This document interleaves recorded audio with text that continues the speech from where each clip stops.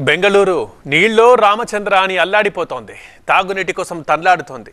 ఎండాకాలం ఆరంభంలోనే బిందెడు నీళ్ళ ఎంఆర్పి రేటు రోజు రోజుకి మారిపోతోంది అక్కడ బొట్టు బొట్టుకో రేటు కడుతున్న తీరు ఆందోళన కలిగిస్తోంది ఇప్పుడు. నీళ్ళే కదా అని నిర్లక్ష్యంగా కుళాయిని వదిలేస్తే ఫైన్తో రంగు పడుద్ది.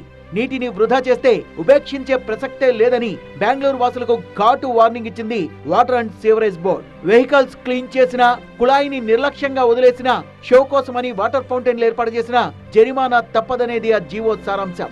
నీటి వాడకంలో నిర్లక్ష్యం వహిస్తే ఇకపై ఐదు వేల రూపాయల ఫైన్ కట్టాల్సిందే. అయినా పద్ధతి మారకపోతే అదనంగా రోజుకు ఐదు వందల జరిమానా తప్పదని వార్నింగ్ ఇచ్చింది. ఒక రకంగా కన్నడిగులకు ఇది ముందస్తు సమ్మర్ స్ట్రో సిలికాన్ సిటీ బెంగళూరులో పరిస్థితి మరీ దారుణంగా తయారైంది.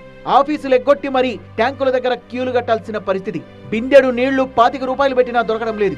రెండు బిందెల నీళ్ళ కోసం నాలుగు రోజుల ముందే బుక్ చేసుకోవాలి. అయినా ట్యాంకర్ల దగ్గర గొడవలు కొట్లాటలు. కావేరీ నీళ్ళైనా ఇచ్చే ఏర్పాటు చేయండి అని వేడుకుంటున్న పరిస్థితి.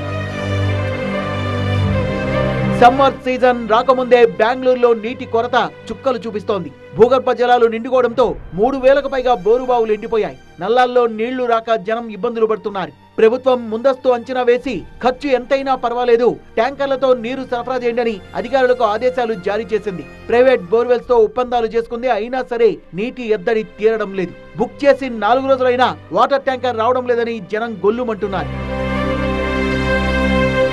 బెంగళూరులో టెక్ కంపెనీలు ఉన్న యాభై ఎనిమిది ప్రాంతాల్లో తీవ్రమైన నీటి సమస్య ఉంది.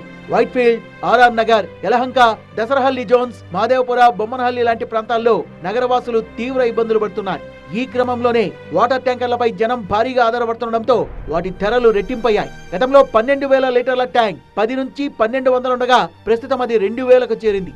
ఇప్పుడే పరిస్థితి ఈ రకంగా ఉంటే ముందు ముందు ఇంకెంత దారుణంగా ఉంటుందని జనం ఆందోళన చెందుతున్నారు.